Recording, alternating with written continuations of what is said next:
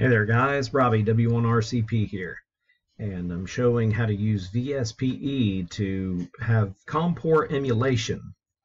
And this allows a user to use two programs using one COM port and for those of us that are amateur radio operators if you want to use two loggers to read your COM port of your radio uh, using CI-V then this is the program that you can use. Um, it's $25 from the company that creates it.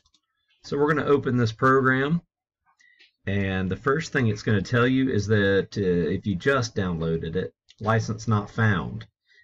And I'm not going to use it, but I thought that it would be cool to show you how to use it. Um, if you need it, it's $25. It's a pretty good deal.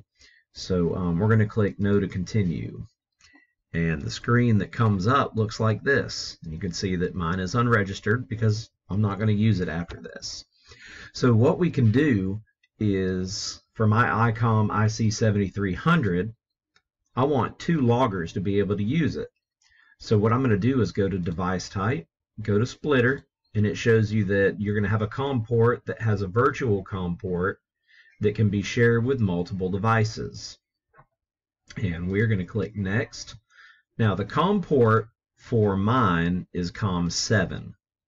That is for my ICOM 7300. And then we're going to go to settings. And we're going to change this to the settings of the radio, which is 9600. We're not using any DTR or RTS. There's no parity.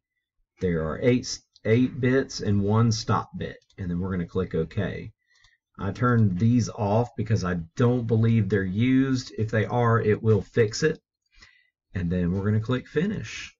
You can select whatever COM port you want. I liked COM10, but since I used that earlier, I'll use COM42 is a good number. So let's go to COM42. Then we'll click finish.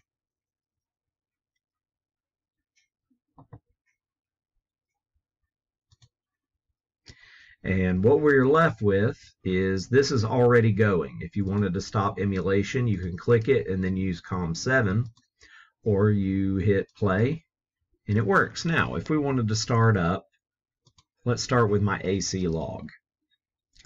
Let's say that N3FJP's AC log wants to read from COM42. Give it just a minute to start up and we will drag this over here so you can see it.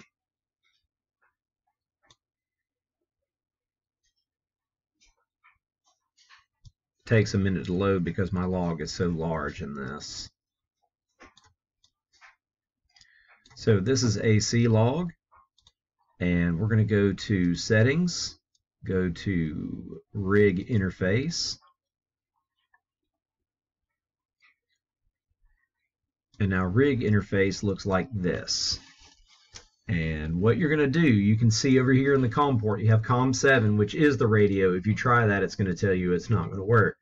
Go to COM42. These settings are already the settings that I use normally because I already had it set up. This can be a problem if you're first setting it up. I would suggest setting it up using the regular COM port and then go back to this program, VSPE, and set that up.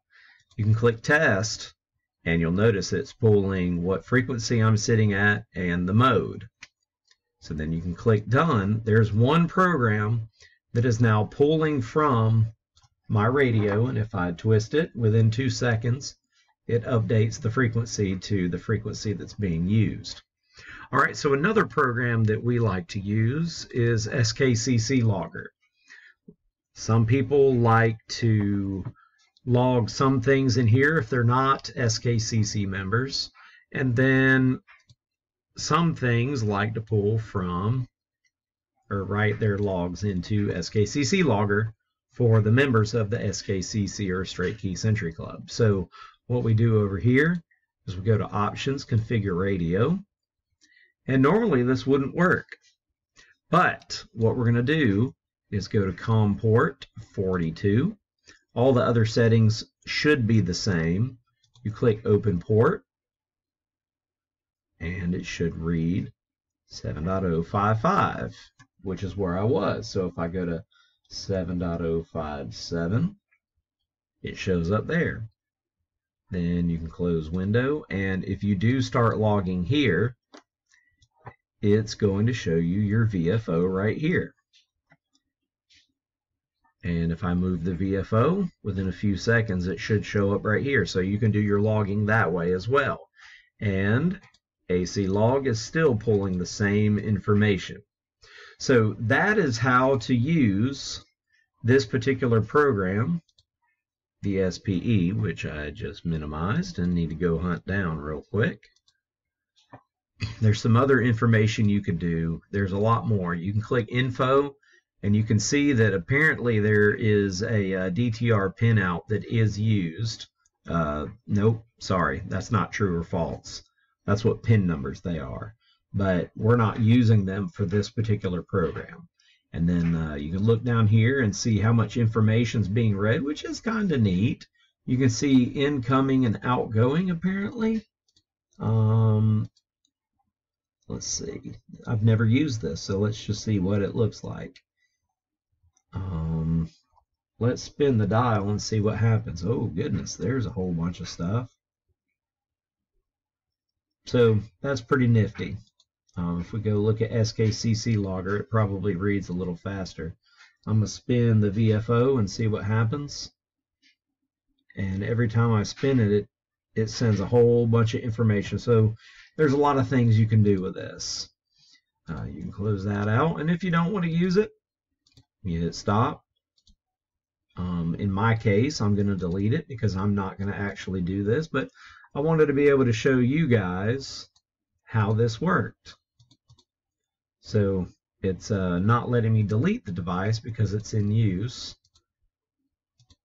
and uh, probably because I have a program using it. So there's that. Never tried that before. Alrighty, so I guess if you want to uh, get rid of that information, you can close your logs. of course, the next time that I open these up, they're going to have a cow um, because that COM port 42 is going to disappear. So that is how to use this particular program. Let's see if it'll let me delete it now. Yep, there you go. So that's how you use this program. Not something for me, but hey, somebody out there may want to have two logs open at the same time. This is a way to do it. Alrighty guys, this is Rob W1RCP and I try to keep it short. 73.